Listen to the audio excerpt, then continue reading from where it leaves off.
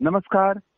जन सरोकार मंच टोंक के साहित्यिक प्रसारण में आज हम ललिता कश्यप जी का साक्षात्कार प्रसारित कर रहे हैं और ललिता कश्यप जी का नाम हिंदी लेखन में, नारी लेखन में एक सुपरिचित नाम है और ये हिमाचल प्रदेश के बिलासपुर की लेखिका हैं और कविता लेखन के अलावा इन्होंने निबंध लेखन और संस्मरण लेखन, इन सब साहित्यिक विधाओं में भी लेखन किया है और इनके साहित्य में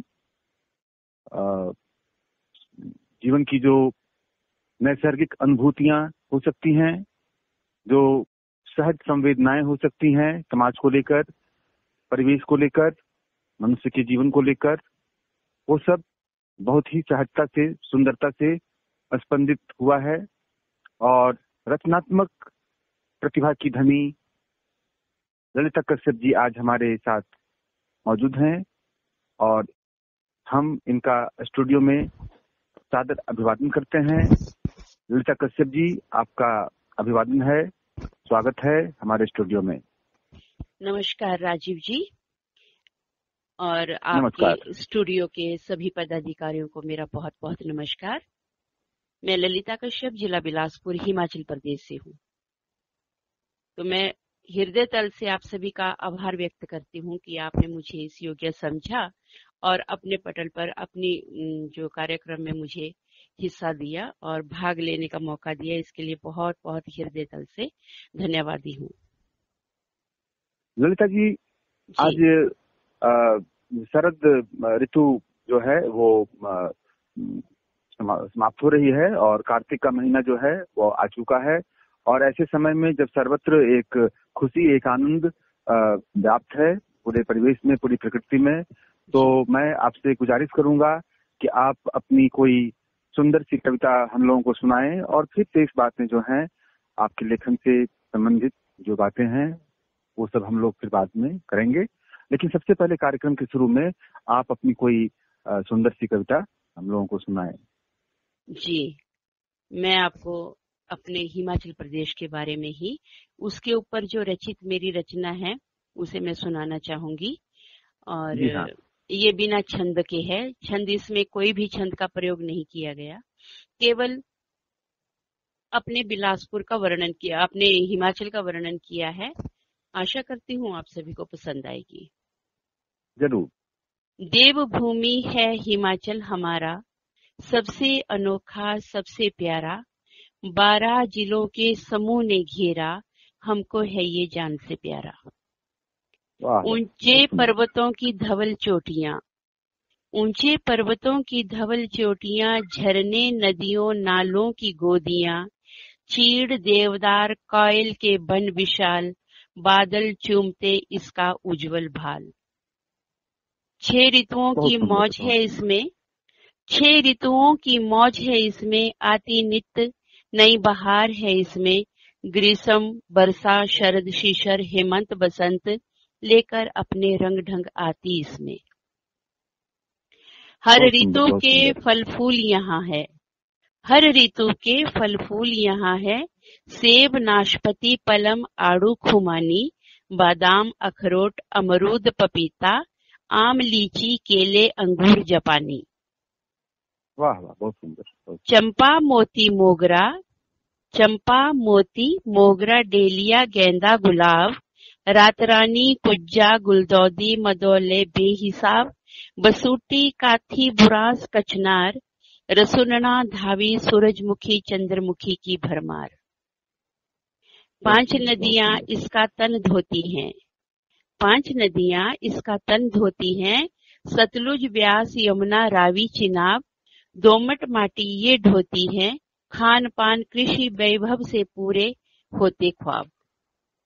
बहुत सुंदर हरा भरा हिमाचल हमारा हरा भरा हिमाचल हमारा रंग बिरंगी है परिधान। कहीं चोला जैकेट शाल टोपी कहीं ढाटू पट्टू कहीं चोला डोरा कहीं दुपट्टा कमीज सलवार।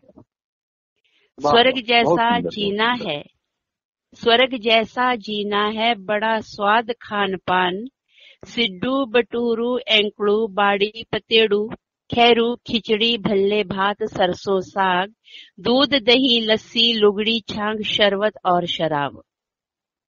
वाह वाह बहुत सुंदर। सोहना बांका हिमाचल हमारा।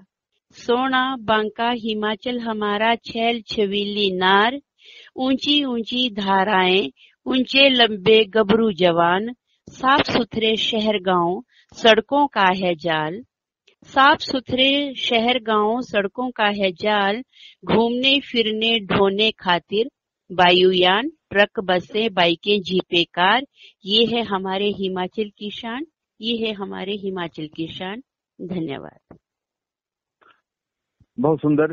ललिता जी, आपने हिमाचल प्रदेश, जो आपकी मातृभूमि है, आपका प्रदेश है तो यहाँ की जो प्रकृति है उसके बारे में एक बहुत ही सुंदर कविता हम लोगों को आपने सुनाई है और हिमाचल का जो की जो प्रकृति है जो सौंदर्य है जो जनजीवन है उसको बिल्कुल आपने साकार कर दिया है अपनी इस कविता में।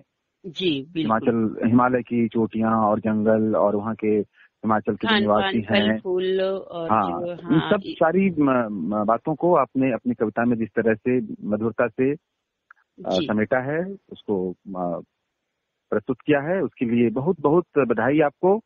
और भारत एक बहुत विशाल देश है और यहाँ के जितने भी प्रांत हैं उनकी अपनी संस्कृति है उनका अपना उनकी अपनी प्रकृति है। इस तरह से हिमाचल भी जो है अपनी एक बहुत विशिष्ट पहचान को लेकर भारत के नक्शे पर ये प्रदेश सुशोभित है। और ललिता जी ने अपनी इस कविता में इस राज्य की सुंदरता को अपना विषय बनाया है। तो भारत भूमि की सुंदरता है वो। हमारी भारत भूमि के बारे में ही ये कविता है। और ललिता जी आप अपनी और भी दूसरी कविताएँ सुनाए ताकि काव्य स्वाधीन का जो ये मौका है वो निरंतर और आगे बढ़े। आपकी ये कविता बहुत ही पसंद आई है। उम्मीद करता हूँ कि आप, आप समझ सको तो मैं अपनी जिला बिलासपुर की भाषा हमारी भाषा बोली जो है कहलूरी बोली है। आ, मुझे लगता है कि आप आसानी से समझ जाओगे। यदि आपकी हाँ, आज्ञा हाँ, हो तो मैं सुनाऊं आपको? हाँ हाँ बिल्कुल। हमारे देश की जो लोक बोलियाँ हैं हिंदी की जो लोक बोलियाँ हैं तो उनमें जो कविताएँ लिखी जा रही हैं तो आप उसका जो आस्वाद है उसका जो सौंदर्य है लोक समाज का उसकी अपनी वाणी में बहुत खुशी होगी हम लोगों को। जी जी। मैं अपने जिला बिलासपुर की क्योंकि हमारे हिमाचल में बारह ज़िले हैं। बारह जिलों की अलग अलग बोली है। एक बोली नहीं है।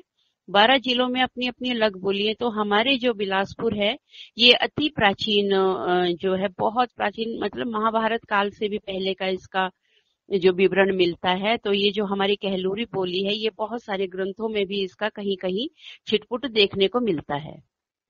तो उसी भाषा में मैं आपको अपनी रचना सुनाऊँगी। ये है हमारे पुराना जो समाज था पुराना जो हमारा रहन सहन खान पान था उस समय की मैंने ये रचना लिखी है हमारे साग सलूने। साग सलूने का मतलब हमारी साग सब्ज़ियाँ। हाँ हाँ। जहाँ आपको पसंद ना आए महोदय आप मुझसे पूछ सकते हैं कि इसका क्या मतलब है। बिल्कुल बिल्कुल। जी प्रस्तुत है। बदिया थे जी हमारे साग सलूने। बदिया। मतलब अच्छे। बदिया थे जी मारे साग सलूने। ना फिकर ना फाका ना सोच विचार। रज्जी ने खा दिया होर मार डकार।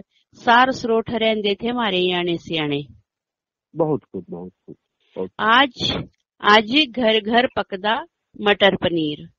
आज घर घर पकदा मटर पनीर। किती मिक्स बैज किती मूरी सीर। मूरी सीर का मतलब ये बकरे के खरोड़े और सिर को खाते हैं इसके लिए मैंने कहा है।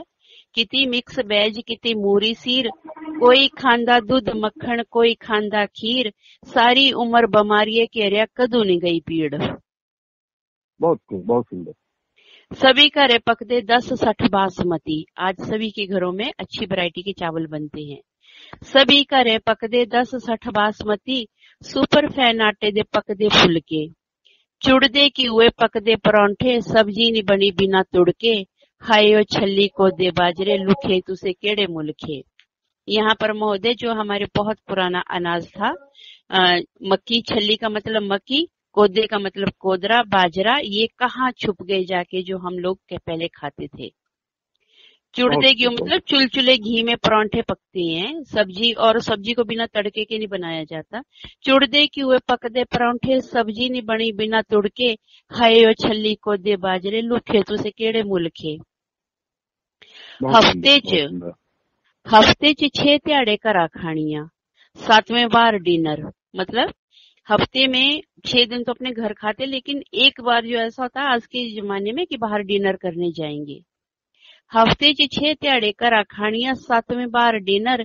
जे दस किलो सीरा चकाई दो तो भज दे त्रिकड़ त्रिकड़ का मतलब कमर। अगर दस किलो का वज़न चका देते हैं तो कमर टूटना शुरू हो जाती है। वो ताकत नहीं है शरीर में। जे दस किलो सिरा चकाई दो तो भजदे त्रिकड़। पीने जो शराबा चाय जूस कॉफ़ी पहले दस पंद्रह होने हुए थे हूँ एक के बाद माफ़ी। यहाँ मेरा आशय ये था कि अच्छा खान पान होने के बावजूद भी एक बच्चे के बाद माफ़ी मांगना शुरू करते हैं। पहले हर घर में एक माँ माँ बाप के दस पंद्रह पंद्रह बच्चे होते थे। बहुत सुंदर बहुत सुंदर। बिना तुड़की दाल दाग लेरी फरू सिमबड़ा रे पप्पू क्यों शकरा खैरू साग पतेड़ू नौनी री मांगी? किती गई छलियर रोटी? छाई रे घड़ेरी जाफी? छुच्छरा साग पतीने चटनी और प्याज गट्ठू। ये हमारे, मैं इसका वर्णन करना चाहूँगी कि यहाँ पर मैंने ये जो पंक्तियाँ लिखी हैं, ये हमारे जो बहुत पुराना समय होता था तो जो लोग थे, वो, सिंपल रोटी खा लेते थे, जैसे हमारे एक अंजीर करके होते हैं अंजीर होते हैं ना वो उसकी हाँ, कच्चे हाँ। अंजीरों की सब्ज़ी बनाई जाती थी। और जो सेमल के फूलों के बाद जो ऊपर लगता है फल जैसा उसकी भी सब्ज़ी बनती थी।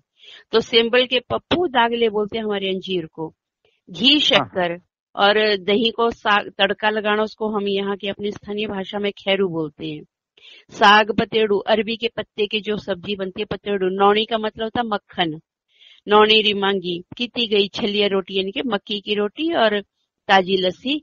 छुच्छरा साग एक साग होता है हमारे यहाँ जो पानी में उगता है। पुदीने की चटनी और प्याजा गट्ठू मतलब ये जो हमारे पुराने साग सलोनी, यानी कि साग सब्ज़ियाँ होती थी। बेफिक्रे रही ने कर दे, खूब पेट पर आई। अम्ब केले पपीते दाग लेने भी रोटी खाई।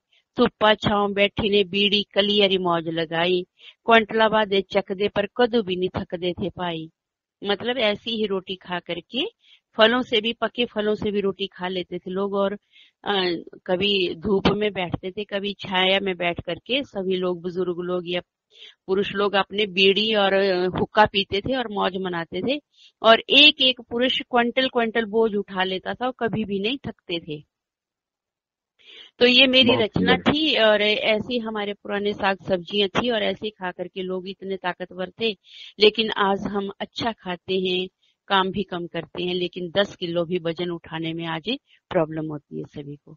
तो इसी पर मेरी ये अपनी ये पुरानी रचना थी। मुझे आशा है कि आप लोग इसे समझ गए होंगे।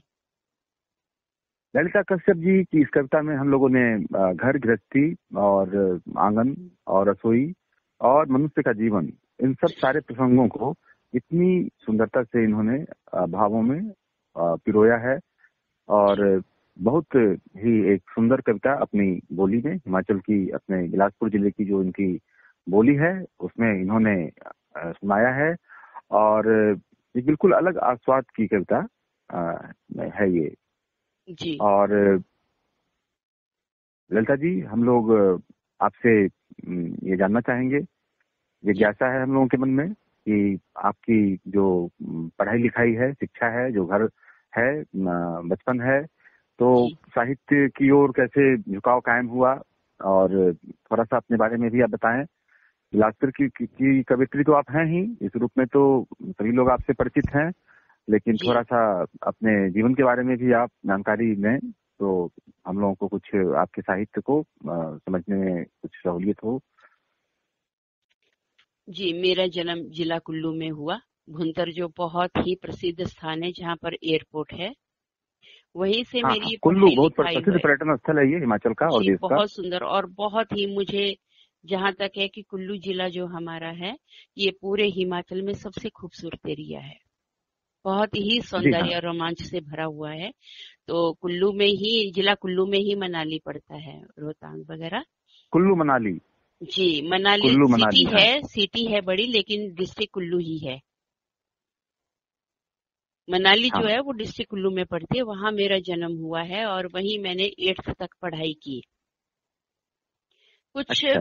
व्यक्तिगत मेरे माँ बाप के साथ मेरे माँ बीमार रहते थे जो छोटी उम्र में ही चले गए थे और अ, मेरे पिताजी आज़ाद हिंद फौज के फौजी थे तो वो पंजाब अमृतसर के रहने वाले थे तो नौकरी के दौरान वो आज़ाद हिंद फौज से वापस आकर के उन्होंने जब आज़ाद हिंद फौज नहीं रही तो उसके बाद उन्होंने वन विभाग में नौकरी की और डलहौजी वगैरह होते हुए, वो चंबा डलहौजी होते हुए कुल्लू तक पहुँच गए। वहीं पर मेरा जन्म हुआ, पढ़ाई भी वहीं पर हुई। लेकिन कुछ बहुत ही निजी समस्याओं के और व्यक्तिगत के चलते ही मेरी शादी जो है जिला बिलासपुर में छोटी उम्र में हो गई। तो काफ़ी हाँ। लंबे समय तक मेरी जो है पढ़ाई रुक गई एट्थ के बाद। तो बच्चे भी हो गए और उसके बाद मैं ना खुद को पढ़ी लिखी समझती थी ना मैं अनपढ़ समझती थी तो मुझे पढ़ने का शौक था। तो मेरे बड़े बेटे ने पांचवी के पेपर दिए तो मैंने मैट्रिक किया। फिर मेरा बेटा फ़र्स्ट ईयर में हुआ तो हम माँ बेटे दोनों ने जा नहीं जब मेरा बेटा प्लस टू में हुआ तो मैंने भी प्लस टू की। और जब मेरा अच्छा। बेटा फाइनल में घर के यानी कि मैं ग्रामीण परिवेश में हूँ तो अत्यधिक काम था। ज़मीन जायदाद भी बहुत थी माल पशु भी थे तो बच्चे भी थे हम हमारे तो फिर वो देखने में पढ़ाई करने में दिक्कत बहुत दिक्कत आती थी। तो उसके बाद मेरे बेटे ने जब फाइनल किया बीए बड़े बेटे ने तो मैंने भी प्रभाकर की। तो हम कॉलेज में माँ बेटे दोनों ही पेपर देने जाते थे। तो अच्छा। प्रभाकर प्रभाकर बहुत किया मैंने। प्रभाकर करने के बाद मैं जिला भाषा विभाग से जुड़ी। तो भाषा एवं संस्कृति विभाग से जुड़ी तो लिखने का शौक था ही मुझे तो मैं उन्नीस सौ छियानवे से जिला भाषा विभाग और बिलासपुर लेखक संघ पंजीकृत संस्था वहाँ जुड़ी तो बहुत कुछ सीखा मैंने अपने जिला बिलासपुर लेखक संघ के।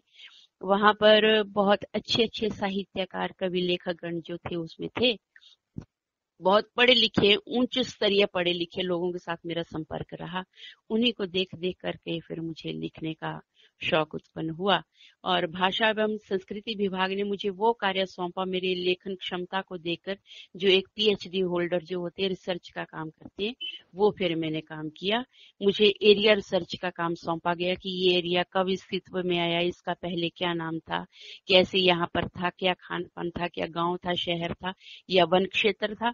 ऐसे करके मैंने खूब रिसर्च किया और बहुत बड़ी प्रोफ़ाइल जो है मैंने भाषा विभाग को सौंपी जिसकी एक कॉपी सेंट्रल गवर्नमेंट दिल्ली में भी है और शिमला में भी है। हमारी हिमाचल प्रदेश की राजधानी जो शिमला है वहाँ पर भी है। तो उसके बाद अच्छा फिर अच्छा। लिखते लिखते लिखते लिखते आज मैं नेशनल इंटरनेशनल स्तर पर लेखिका हूँ और बाहर से भी मैं जुड़ी हूँ। कोई जैसे दुबई है कनाडा है ऐसी संस्थाओं में मुझे छंद सिखाने का काम सौंपा गया है।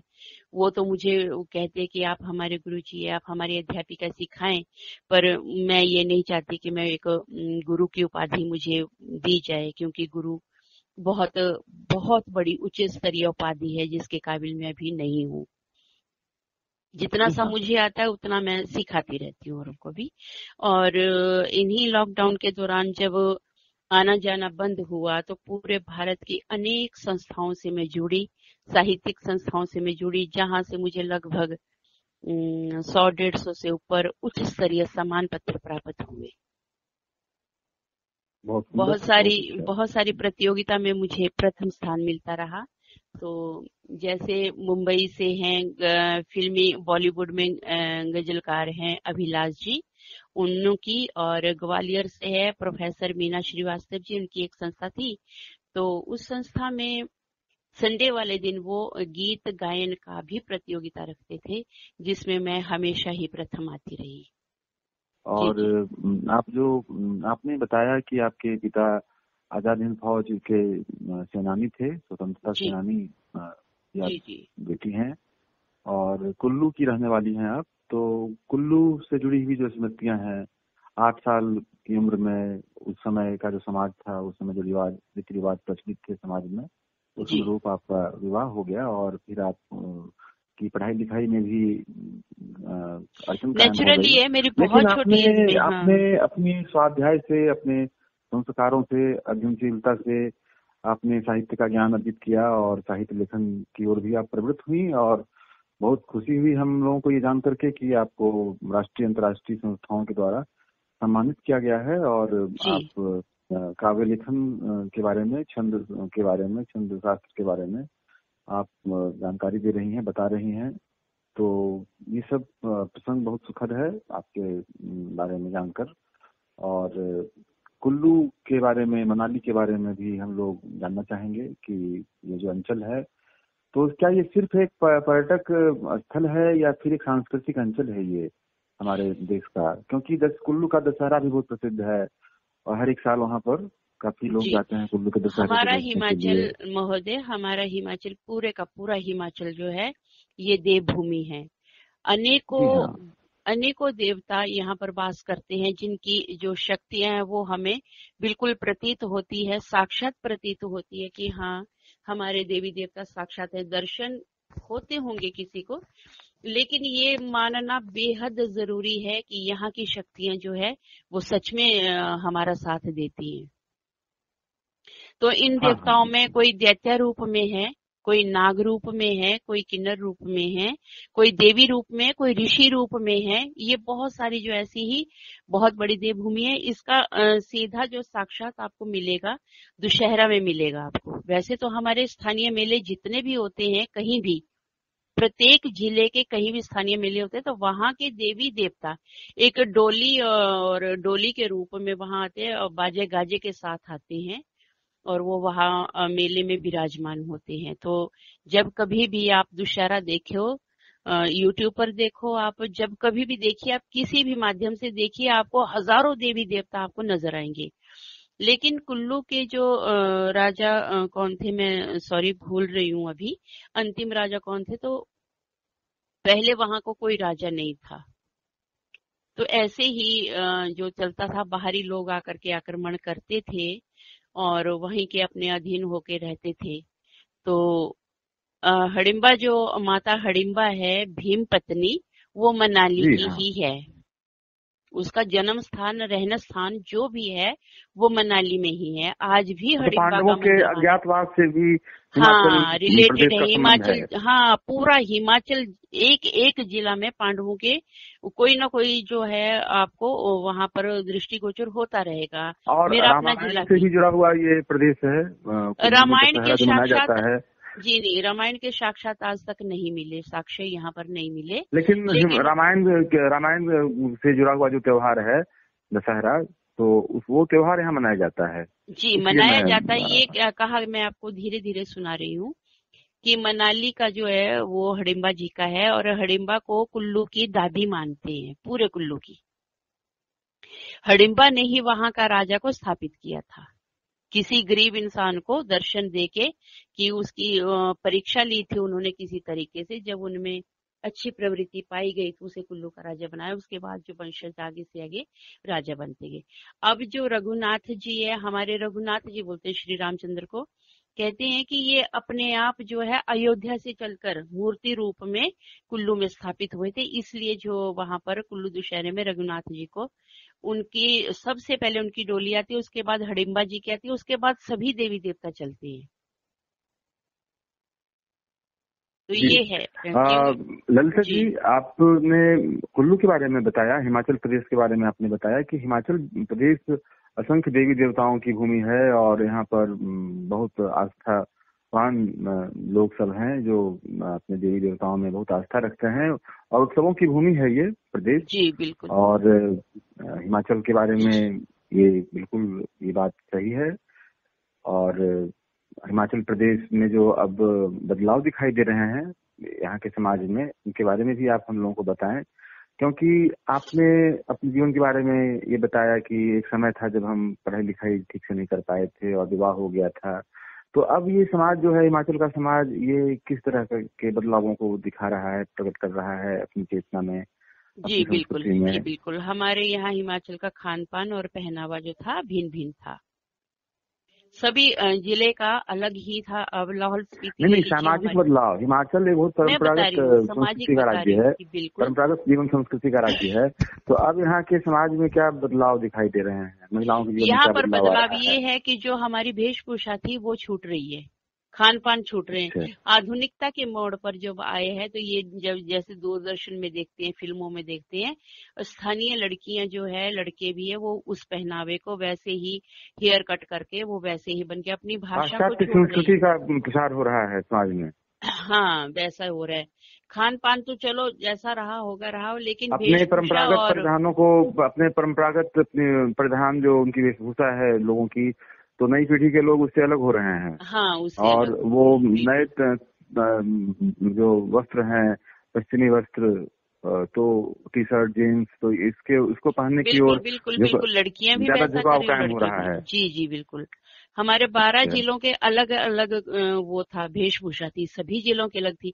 मतलब वेशभूषा से पहचाने जाते थे ये किस ज़िले का है? तो सिर्फ़ वेशभूषा में ही बदलाव दिखाई दे रहा है या और भी तरह के कुछ बदलाव वहाँ दिखाई दे रहे हैं? बदलाव जीवन मूल्यों में संस्कृति में समाज में प्रचलित जो मानसिकता है पुरानी मानसिकता उसमें कुछ नई बातें जुड़ रही हैं या इन सबको थोड़ा स्पष्ट कर आप करें तो ज़्यादा अच्छा लगेगा। इसका ये है कि जैसे हमारे संस्कृति थी हमारे रीति रिवाज थे अब विवाह शादियों में मंगल गीत गाए जाते थे मुंडन संस्कारों में मंगल गीत गाए जाते थे आज डीजे ने वो स्थान ले लिया है। कहीं कहीं ये डीजे ने स्थान ले लिया है। हाँ कहीं कहीं ये देखने को मिलता है कि मंगल गीत गाए जाते हैं टाइम टू टाइम जो होता है ना समय समय पर तो वो मंगल गीत गाए जाते हैं। वेशभूषा का तो आप नाम ही छोड़ो। वेशभूषा तो बिल्कुल ही उठ गई।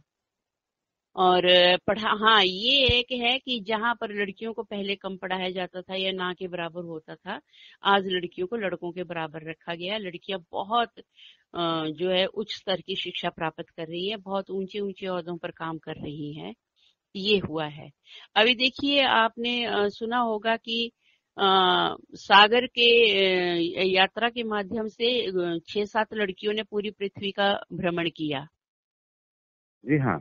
किया। उसमें एक लड़की हमारे कुल्लू की थी। अच्छा अच्छा। हाँ जी। उसमें जो कैप्टन का जो नेतृत्व किया उसने उन लड़कियों का वो हमारे कुल्लू की थी। मैं नाम भूल रही हूँ उसकी कौन है वो? पर वो कुल्लू की थी हमारे बिल्कुल ही जहाँ मेरे जन्म हुआ उसके पड़ोस वाले कस्बे की थी वो। तो बहुत एक बड़ा बदलाव हिमाचल के समाज में दिखाई दे रहा है और वो बदलाव है वहाँ पर लड़कियों के जीवन में जो उन्नति आ रही है जो उन्नति हो रही है शिक्षा के माध्यम से शिक्षा हाँ, के प्रभाव से। तो ललिता जी ने ललिता जी ने इसके बारे में हमें बताया है कि एक बहुत अच्छी चीज़ जो हिमाचल प्रदेश में दिखाई दे रही है वो है शिक्षा, स्त्री शिक्षा, और लड़कियों को समान महत्व दिया जा रहा है, शिक्षा प्राप्ति के समान अवसर सरकार के द्वारा, समाज के द्वारा, परिवार के द्वारा दिए जा रहे हैं।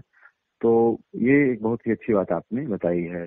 और हिमाचल प्रदेश के बारे में और भी बहुत सारी बातें आपने हम लोगों को कही हैं, लेकिन इस इंटरव्यू में आपका आगमन एक कवित्री के रूप में हुआ है, और आप अभी तक हम लोगों ने सिर्फ़ दो कविताएँ हम लोगों ने आपसे सुनी है, एक हिमाचल प्रदेश के बारे में और एक अपनी लोक बोली में आपने एक कविता सुनाई सुनाई है तो बहुत हम लोगों को ये अच्छा लगेगा अगर आप अपनी कुछ और कविताएँ हमें आप सुनाएँ जी बिल्कुल सुनाती हूँ। शैल सुता छंद में मैं सुनाऊँगी।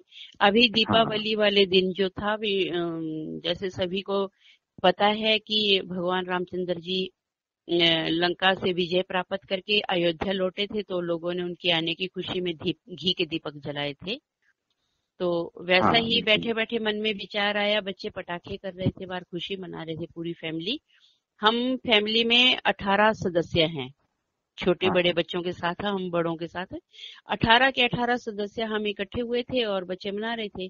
तो अभी हमारे हिमाचल में थोड़ा सर्दी का मौसम हो गया तो मुझे ठंड लगी तो मैं अंदर कमरे में बैठ के मैंने एक छंद रचा जिसे शैल सुता छंद या कनक मंजरी छंद कहते हैं।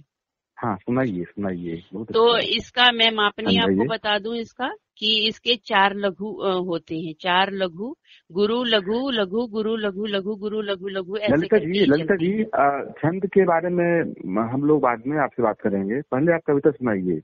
जी और हाँ कविताएँ आप सुनाए क्योंकि कविताओं के बारे में आपने जो बताया है तो फिर कविता कौन पड़ जाती है दूसरी बातें महत्वपूर्ण बन जाती हैं।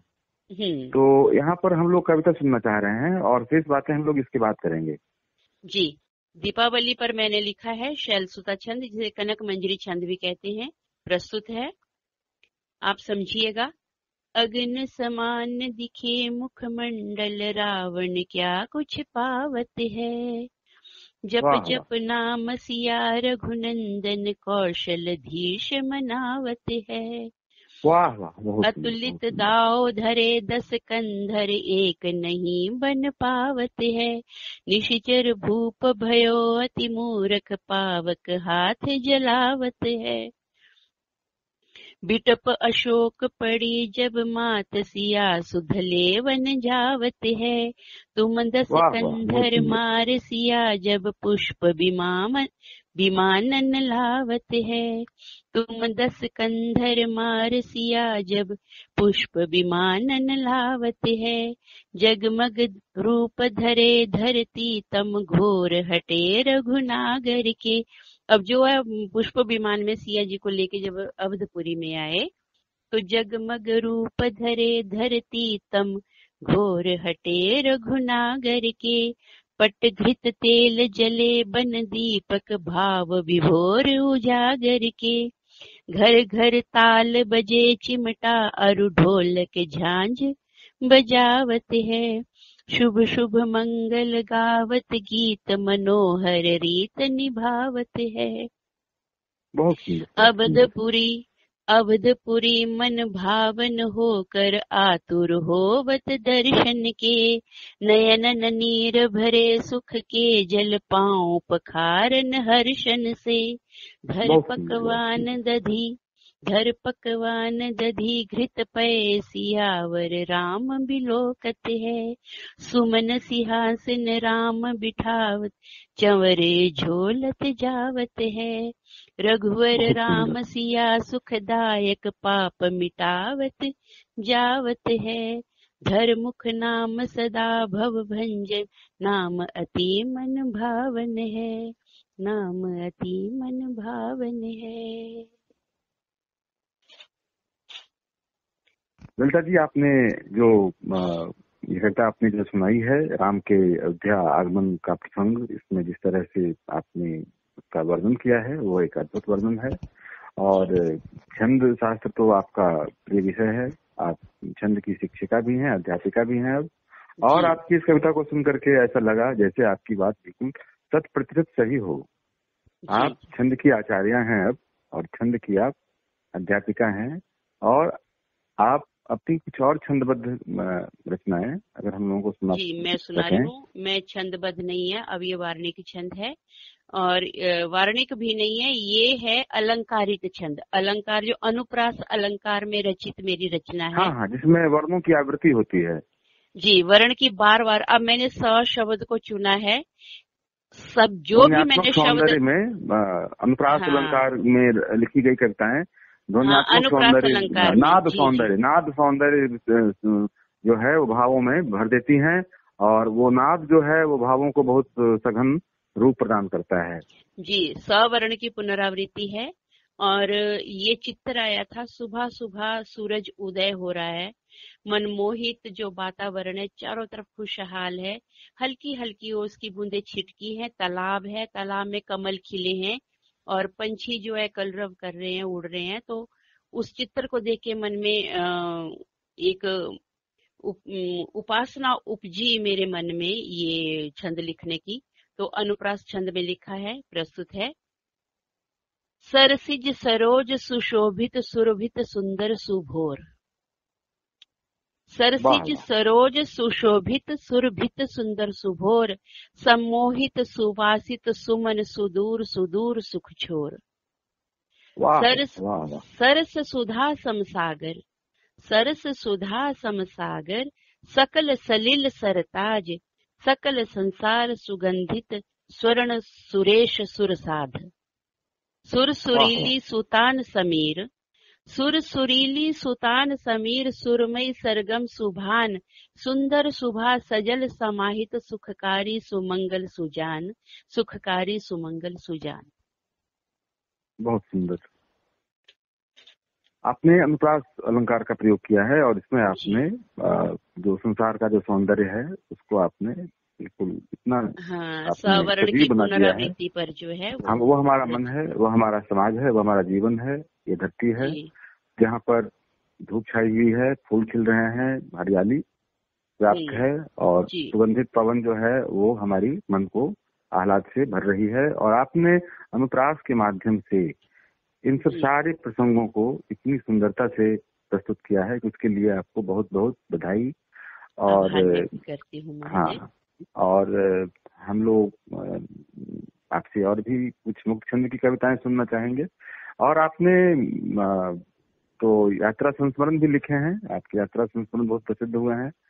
वो पढ़े गए हैं। हिमाचल की जो भूमि है उससे थोड़ा अलग हट करके आप उत्तराखंड भी गई और वहाँ पर आपने देव दर्शन किया। कई धाम हमारे जो हैं वो उत्तराखंड में स्थित हैं। आपको सौभाग्य प्राप्त हुआ वहाँ पर देव दर्शनों देवस्थलों के दर्शन के सौभाग्य आपको मिले। तो थोड़ा आप उनके बारे में बताइए। जी यदि मैं यात्रा संस्मरण पढ़ने लगूं तो ये बहुत लंबा है। हाँ। तो सुनाइए यात्रा संस्मरण जो है वो पढ़ने के अलावा लेखक के मुख मुख से उनको सुनना तो एक और बहुत सुंदर अनुभूति होगी। थोड़ा सा हिस्सा उसका पढ़कर अगर आप सुना सकें या फिर बता सकें कि वो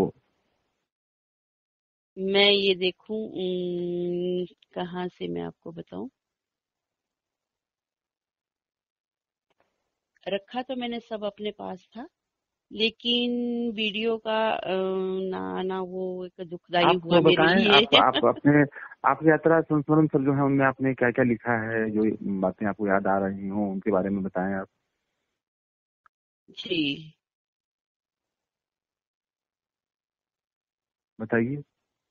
जी मैं निकाल रही हूँ ये बहुत लंबी है मैं थोड़ा सा जो देखिए मैं अब ये नहीं मैं बता पाऊँगी कि मैं कहाँ से कहाँ पर केदारनाथ की यात्रा कैसे हम पहुँचे तो उसका मैं हाँ। बीच में सुनाऊँगी ये हाँ। चारों तरफ़ धवल बर्फ़ की चादर ओढ़े पर्वतों से घिरा अनुपम मंदिर है हम दर्शन करके वापिस विश्राम गृह तक आए चाय बनाकर पी खाना बनाया खाया और केदारनाथ के लिए चल पड़े हम वापस उसी रास्ते उत्तरकाशी तक आए। ये भागीरथी नदी के किनारे बसा पर्वतीय शहर बहुत ही सुंदर है। यहाँ का राष्ट्रीय मार्ग एक से यात्रा करते हुए हमने एक लंबी सुरंग को पार कर मनेरी बाँध उत्तराखंड देखा। उत्तरकाशी से हमारा रास्ता केदारनाथ के लिए बदल गया। वहाँ से हम लगभग 50 किलोमीटर दूर त्रिमुंडा खाल आए। और रात्रि विश्राम किया। उत्तरकाशी पर्वतों की तलहट्टी में भागीरथी नदी के दोनों किनारों पर तीन चार किलोमीटर तक घना शहर बसा है। यहाँ की वेशभूषा आधुनिक फ़ैशन वाली है। केवल बुज़ुर्ग महिलाएँ, साड़ी ढाटू और पुरुषों में जैकेट, किश्ती टोपी देखी गई। उत्तरकाशी से केदारनाथ 232 किलोमीटर दूरी पर है। साढ़े बारह बजे हम अगस्त्य मुनि की तपोस्थली रुद्रप्रयाग पहुँचे। ये शहर पर्वतों की तलहट्टी में मंदाकिनी नदी के किनारे बसा है। रुद्रप्रयाग से आगे तीन किलोमीटर चंद्रपुरी आती है। वैसे तो उत्तराखंड सारे का सारा घनी पर्वतमालाओं से घिरा राज्य है। कहीं कहीं भयानक सुनसान सड़क तथा वन क्षेत्र है। कहीं कहीं अति प्राकृतिक सौंदर्य भरा, ढलानदार सीढ़ी नुमा छोटे छोटे खेतों से सजे ऊँचे ऊँचे पहाड़ है। चंद्रमुखी से आगे आठ किलोमीटर आगे गुप्त काशी से होते हुए हम तीन बजकर पैंतालीस मिनट पर सोन प्रयाग जो पाँच किलोमीटर गौरीकुंड से पीछे है। हमने रात का विश्राम किया गौरीकुंड में स्नान किया। हमारी बस सोन प्रयाग में ही रुक गई। हम सब गौरीकुंड तक किराए की जीपों में गए। सुबह जल्दी उठकर हमने गौरीकुंड के गर्म चश्मों में स्नान किया।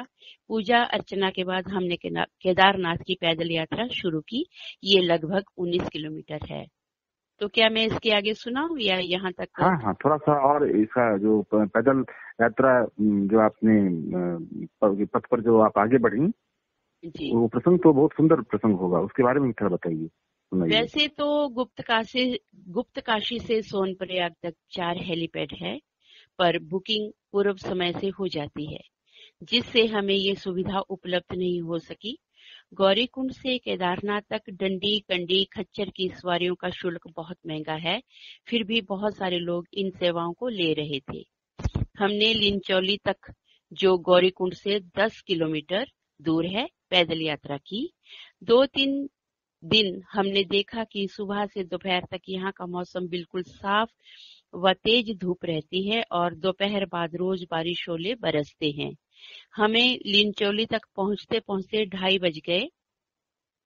सैकड़ों यात्रियों सहित हम भी ओले बारिश के थपेड़ों में बहुत भीग गए थे। ठंड से शरीर अकड़ रहा था। हमने वहाँ फौजियों द्वारा बनाए गए तंबुओं में सहारा लिया। हमारे फौजी भाइयों ने हज़ारों तीर्थयात्रियों के लिए इन दुर्गम स्थानों पर तंबुओं का तथा शयन थैलों, यानी कि स्लीपिंग बैग का प्रबंध कर रखा था। हमारे तंबू में कुछ बाहर के यात्री भी सम्मिलित हो गए। उनमें कुछ नौजवान हरियाणा, दिल्ली के तथा दो महिलाएँ मुंबई से तथा एक दिल्ली से थी। ये महिलाएँ अपने परिवार तथा टोली से बिछुड़ चुकी थी, क्योंकि अंधेरा हो चुका था। बारिश और तूफ़ान भी तेज हो गया था। इसी कारण इन महिलाओं ने भी हमारे तंबू में शरण ली। मुंबई की महिला जो कि ठंड के कारण अकड़ रही थी, उसे संभालना मुश्किल हो रहा था, क्योंकि उसे तेज बुखार था और अपनों से भी छुड़ने का गम था। और वे डर डर भी रही थी, इसलिए वे ज़ोर ज़ोर से रो रही थी। हमने अपने दवाइयों वाले डिब्बे से उसे दवाई खिलाई और गरम गरम चाय पिलाई और सभी ने उसे तसल्ली दी कि सुबह होने पर सब कुछ ठीक हो जाएगा। कुछ देर के बाद उसे कुछ राहत मिली, फिर हम सबने भी रात के भोजन में आलू का परांठा और चाय ही ली। भगवान का शुक्र था कि ऐसे दुर्गम स्थान पर भी खाने पीने का प्रबंध था। लिंचोली में फौजियों द्वारा बनाए गए तंबुओं के साथ साथ पक्के होटल भी बने हैं। बहुत महँगे होने पर भी उनमें कमरों का मिलना असंभव होता है। केदारनाथ यात्रा में केवल लिंचोली ही ऐसा स्थान है जहाँ कुछ सुविधाएँ उपलब्ध है। उसके बाद केदारनाथ में ही सुविधाएँ उपलब्ध होती है। आगे भी सुनाना। नहीं बहुत ही अच्छा लगा ये आपका केदारनाथ यात्रा हाँ इसके बाद मेरा जो ये इसमें लिखा है जो आपने 2013 में केदारनाथ की जो यात्रा की है आपने तो छोटे से यात्रा संस्मरण में यात्रा वृत्तांत में आपने केदारनाथ की यात्रा के बारे में सब कुछ बता दिया है कि वो कितना एक दुर्गम स्थल है यहाँ पर लोग अपनी आस्था को लेकर के अपने विश्वास को लेकर के वहाँ पहुँचते हैं और बहुत सारे कष्ट दुख तकलीफ़ झेलने पड़ते हैं। ये तो हम आधे रास्ते में भगवान केदारनाथ से का साक्षात्कार करते हैं। तो हिमालय की जो भूमि है वह एक ऐसी भूमि है।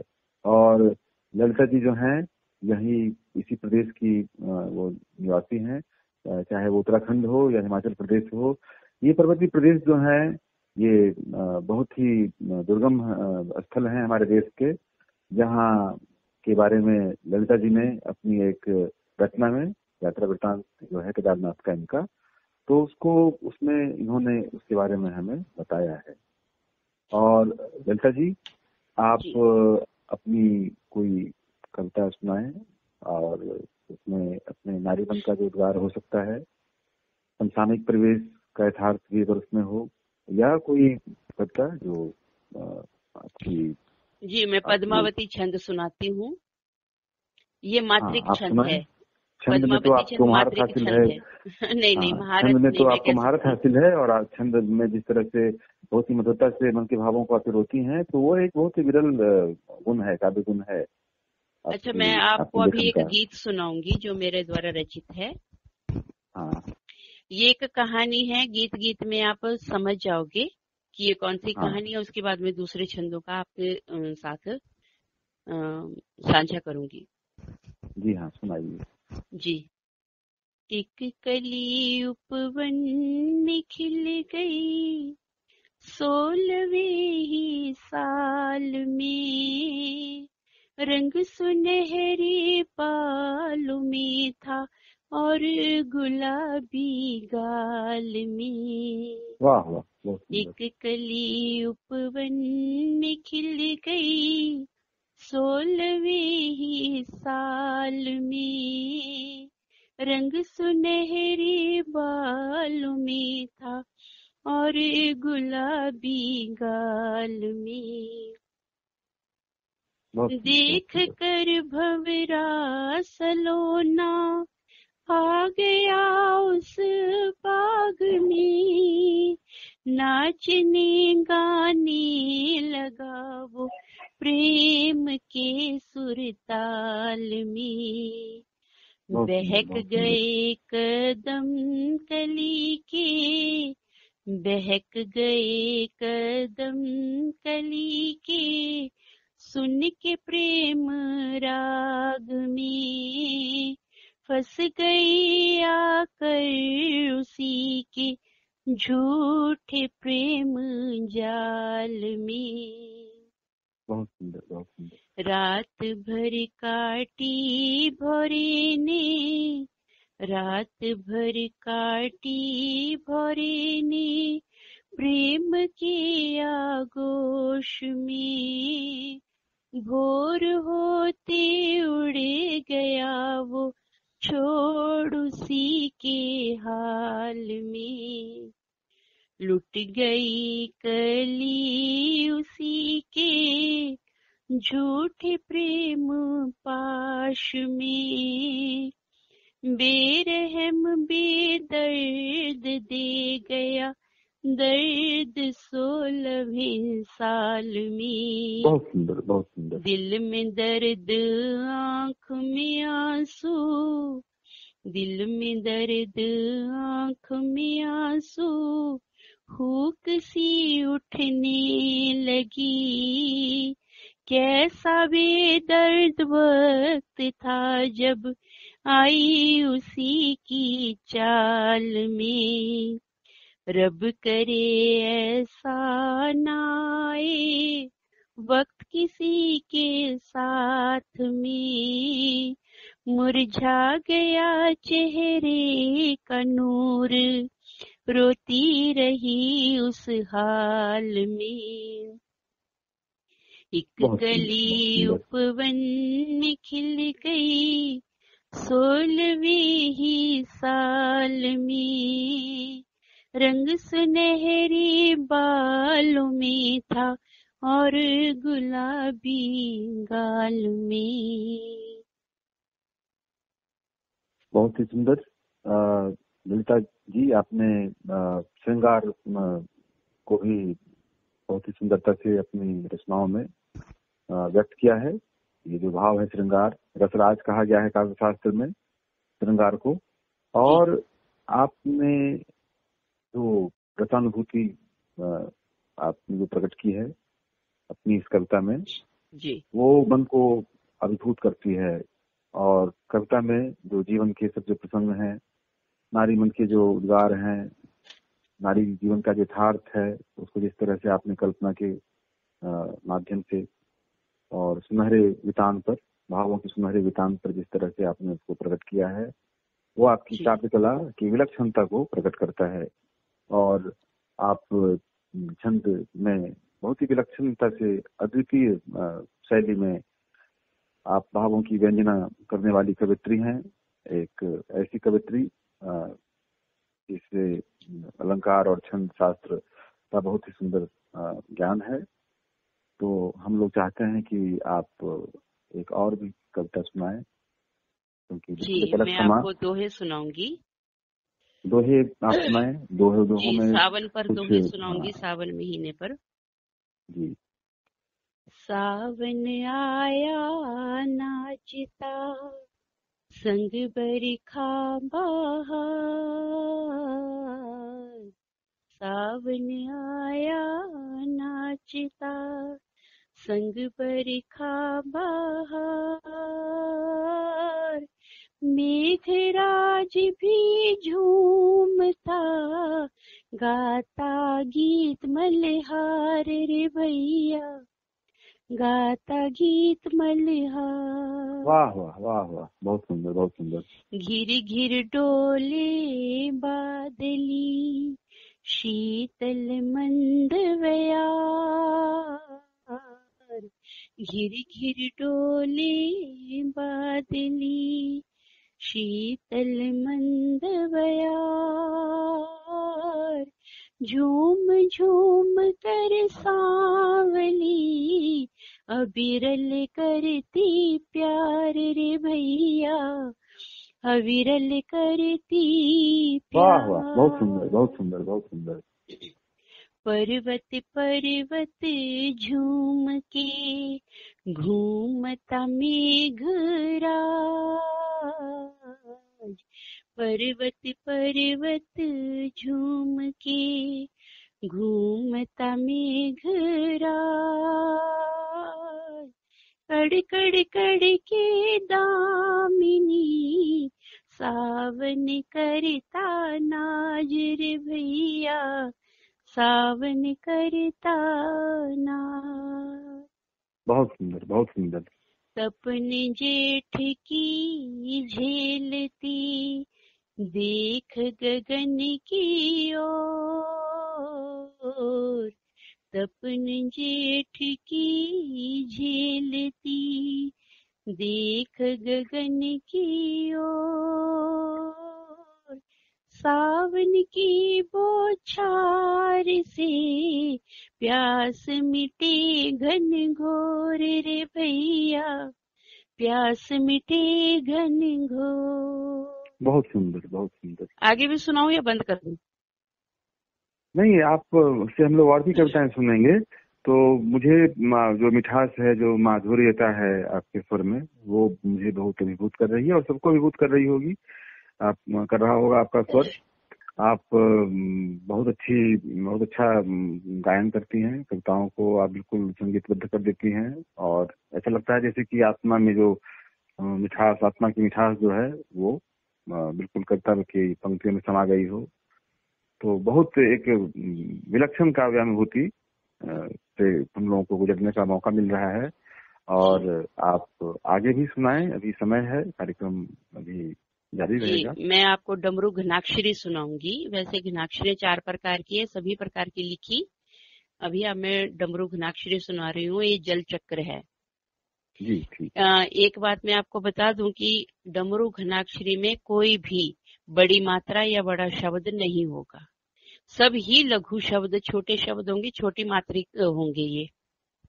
ठीक है। सर सर उड़ उड़ नगर नगर नभ छम छम बरसत घनन घनन घन कड़ कड़ कड़ कड़ गरज गरज कर बरस बरस कर मन हर जलधर मधुर मिलन फिर नभ मही मधुर मिलन फिर नभ मही नद सर भर भर छल कत नट खट पन घट। सर सिज सर वर अधर मधुर खिल उपवन सुर भित कुसुम कुसुम मिल। सरपट सरपट पथगत नद जल जल मिलन पर स्वर कर कल कल हीर दे कमल खिल थीर थीर थीर कत, सब जग सुख कर अविरल निरखत। पड़त पड़त थल नव जल शवनम, सुमन सुमन पर सुख कर शयनम। डगमग डगमग नित नित मधुकर, छल छल मधुरस अली अली छल कर, छल छल मधुरस अली अली छल कर। वाह वाह, बहुत सुंदर बहुत सुंदर।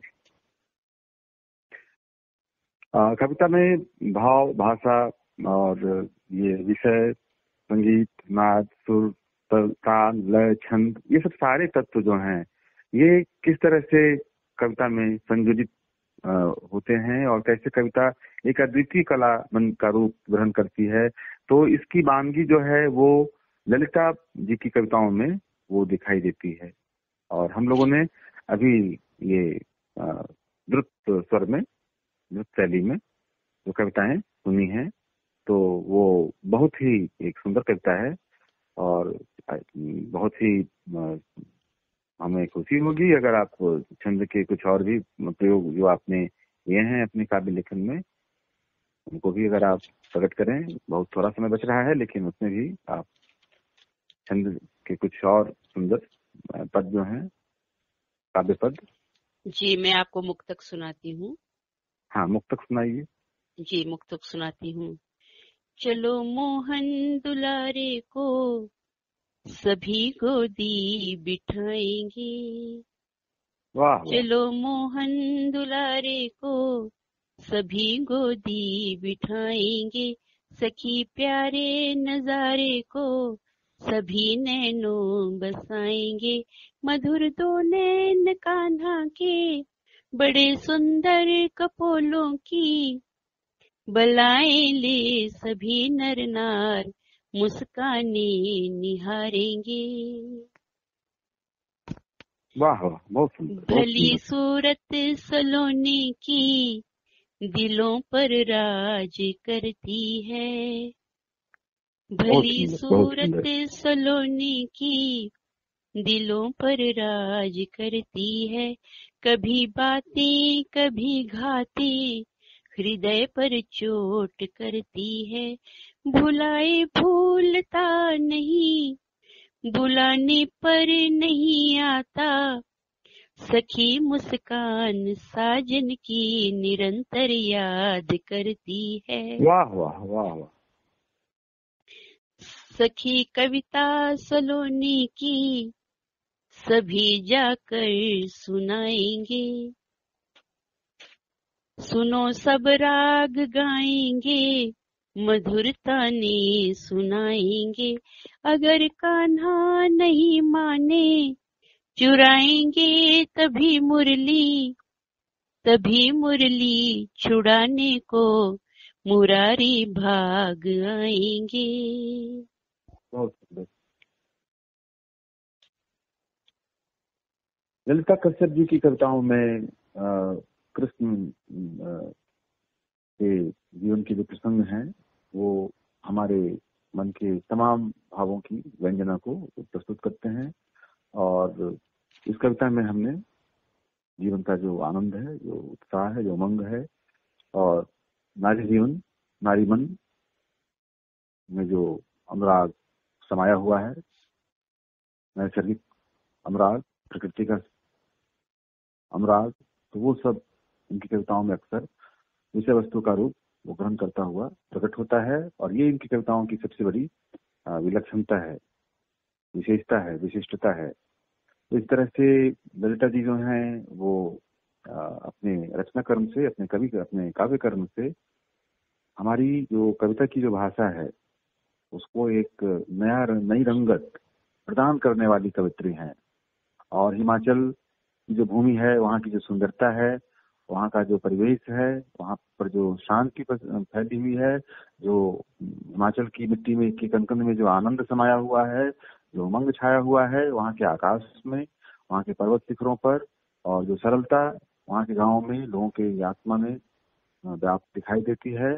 तो इन सब सारे तत्वों से, इन सब सारे तत्वों से ललिता जी की कविताएँ जो हैं, अपनी भाव भाषा को ग्रहण करती हैं। और हमें आज इनसे कविताएँ सुनने का मौका मिला।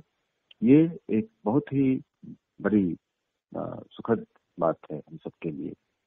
और ललिता जी, आप स्टूडियो में आई, आपने हमें कुछ अपनी कविताएँ सुनाई और अपने बारे में बताया, हिमाचल प्रदेश के बारे में जानकारी दी। ये बहुत ही एक बहुमूल्य अनुभव है हम सबके लिए। उम्मीद करते हैं कि आगे जब तकनीकी व्यवधान नहीं होंगे तो फिर हम आपका वीडियो इंटरव्यू भी करेंगे। और जी। ये ऑडियो इंटरव्यू जो है हमने आपका आज जो किया है ये बहुत ही अच्छा लगा है आपसे बातचीत करके। तो कार्यक्रम में आने के लिए आपका आपके प्रति आभार व्यक्त करता हूँ जन सरोकार मंच टोंक की ओर से और समस्त श्रोताओं की ओर से। आपका बहुत बहुत धन्यवाद ललिता कश्यप जी। धन्यवाद